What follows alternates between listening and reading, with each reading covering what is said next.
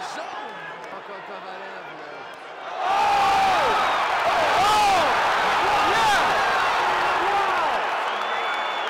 Careful. Don't get cocky.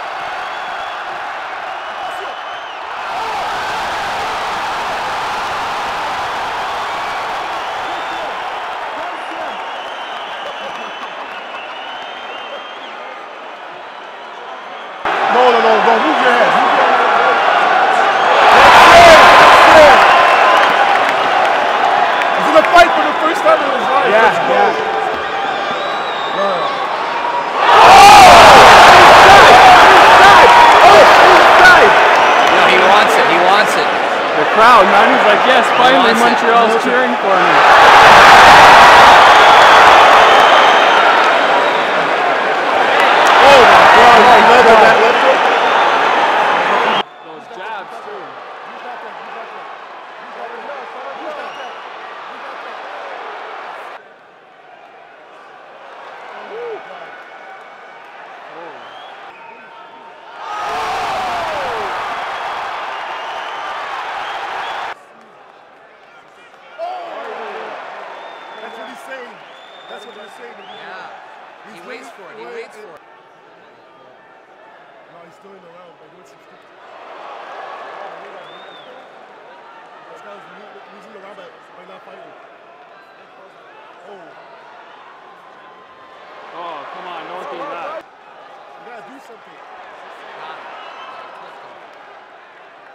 had him right there. Yeah, yeah,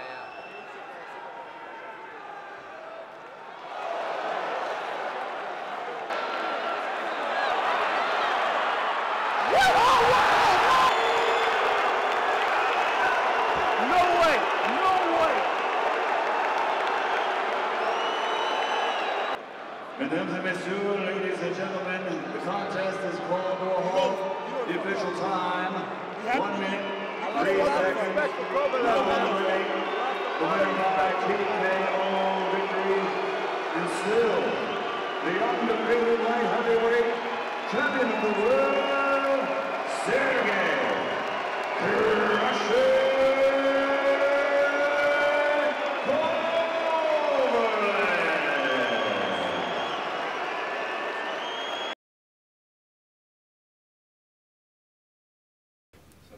it's not. It was not easy fight. Every fight not easy, you know. Like uh, some fight uh, you fighting mentally, you know. Like sometimes uh, some fight you fighting like uh, physically.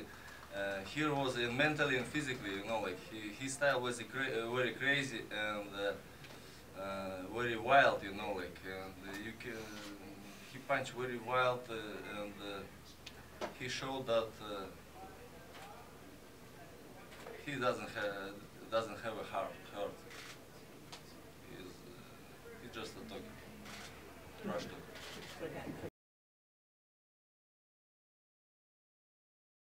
euh, Marc euh, il a raison.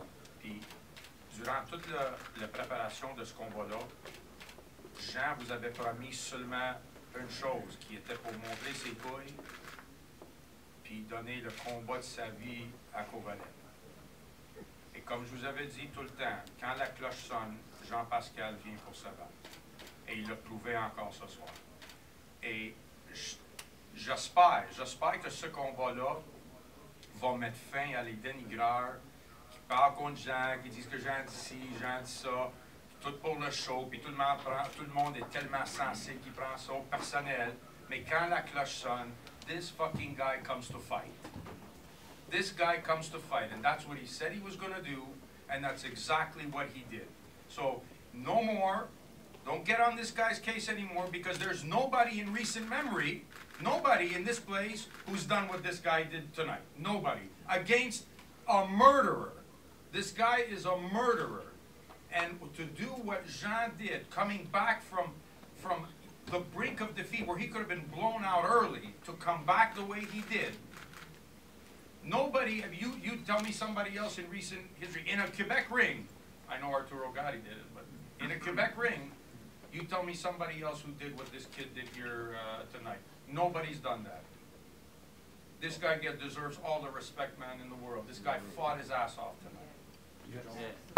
Yeah.